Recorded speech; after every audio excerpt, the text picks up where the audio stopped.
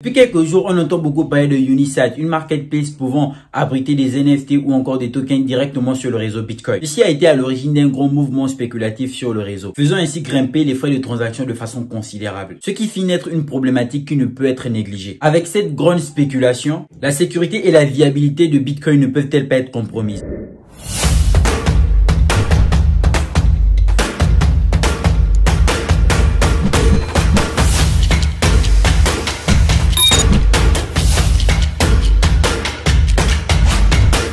Bonjour à toutes et à tous, bienvenue sur Luis Crypto. Ici, je te parle de crypto-monnaie, de révolution capital blockchain de le secteur économique. Si cette thématique t'intéresse, je t'invite à bien vouloir t'abonner en activant la cloche de notification pour ne rater aucune prochaine vidéo. Si tu veux approfondir tes connaissances en crypto-monnaie, d'ailleurs, je te le souhaite, je te suggère la formation Luis Crypto. Il te suffit de cliquer sur le lien en bas de description pour avoir toutes les modalités d'acquisition. Tu peux aussi rejoindre mon canal privé Telegram en t'y abonnant juste en cliquant sur le lien en bas de description. Si vous voulez comprendre au fond, avec des explications simples et classiques pour tout le monde, comment est-ce que le réseau Bitcoin a connu une grande hausse en termes de frais de transaction en aussi peu de temps depuis la sortie de leur marketplace. Je vous suggère de regarder cette vidéo de Crypto Afrique Future, précisément la dernière vidéo qui parle des ordinals et BRC20, donc les shitcoins qui débarquent sur le réseau Bitcoin. Ça va vraiment vous permettre de mieux comprendre la notion ou encore le fait actuellement.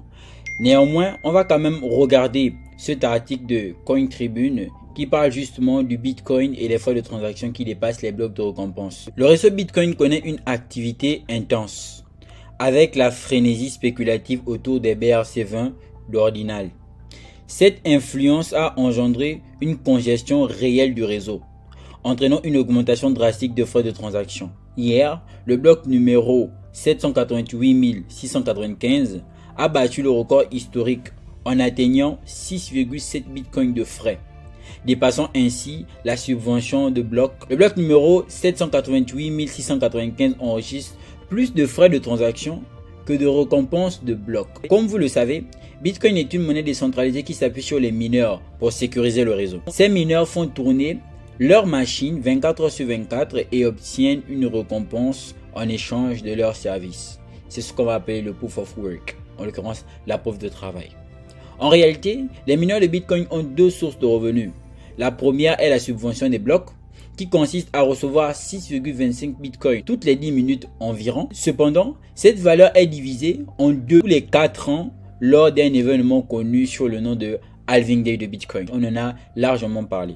La seconde source de revenus est constituée par les frais de transaction. Les utilisateurs ont la possibilité d'ajouter des frais à chaque transaction en Bitcoin. Plus la demande de Bitcoin est élevée, plus les utilisateurs doivent augmenter leurs frais s'ils veulent que leurs transactions soient traitées rapidement. C'est pratiquement le même processus actuellement sur l'Ethereum. Avec l'essor de Bitcoin Ordinals et la récente apparition des jetons de normes T20, le réseau a connu une croissance spéculaire de ses activités. Cependant, cette surcharge a entraîné une hausse sans précédent des frais de transaction. Les frais de transaction ont atteint une moyenne de 19 dollars, ce qui semble assez élevé. Et le clou le spectacle s'est produit hier à minuit. Les frais de transaction du bloc 788 695 ont dépassé la récompense de bloc, atteignant la somme astronomique de 6,7 bitcoins. Ainsi, le mineur chanceux de ce bloc a emporté un total incroyable de 12 957 bitcoins. Une situation couronne pour Bitcoin. Avec l'essor des activités sur le réseau, les frais de transaction deviennent une source de revenus non négligeable pour les mineurs de Bitcoin. Cependant, ce qui s'est produit au bloc 188 695 n'est pas un cas unique. Depuis le lancement des jetons BRC20 en mars sur Bitcoin, plusieurs blocs ont enregistré des frais supérieurs à la récompense de blocs de 6,25 Bitcoin.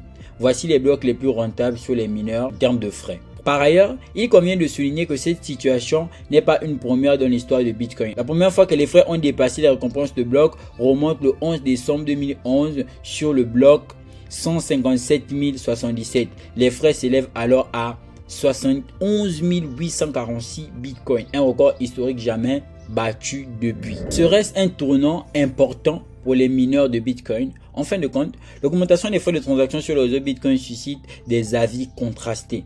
D'un côté, les utilisateurs subissent les conséquences de cette congestion. De l'autre côté, les mineurs de Bitcoin en tirent des bénéfices significatifs. En effet, sur le long terme, la subvention de mineurs ne sera plus d'actualité et les frais de transaction deviendront les seules sources de revenus.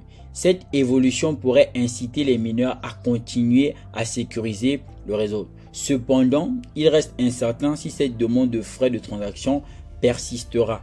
Dans tous les cas, cette flambée des frais de transaction pourrait finalement permettre au réseau Lightning de prouver ce dont il a été créé. Ici, on a Unisat, la plateforme qui va nous permettre justement d'avoir un large champ de vision sur l'ensemble des activités effectuées sur le réseau Bitcoin entre ordinal, en l'occurrence des projets ou encore des tokens qui évoluent sur le réseau, ou encore des NFT qui y seront aussi. Vu qu'ici on aura la possibilité de stocker et transférer des NFT ordinaux, c'est 100% open source, voir immédiatement les NFT non confirmés. Il y a la possibilité aussi de s'y inscrire. Donc, on va pouvoir stocker, frapper et transférer des BRC20. On a en même temps le portefeuille. Au niveau du portefeuille, on aura la possibilité de créer un portefeuille Bitcoin, donc sur Unisat. Bien sûr, ça, ça se fait en s'y inscrivant. D'accord? On pourra faire des recherches par la même occasion sur le réseau BRC20 donc, recherchez dans les inscriptions textuelles. Les inscriptions deviennent consultables en quelques secondes. Le moteur de recherche d'inscription le plus rapide. Et ici, on a des BRC20, tout simplement. On a tous. Ici, on a en cours. Si on vient là, on a en cours. Et on pourra venir aussi sur compléter, comme vous pouvez le remarquer ici. Et là, tout de suite, ici, on aura le marché. En gros, il y aura la possibilité soit de se connecter ou afficher uniquement. Mais pour le coup, je vais afficher uniquement.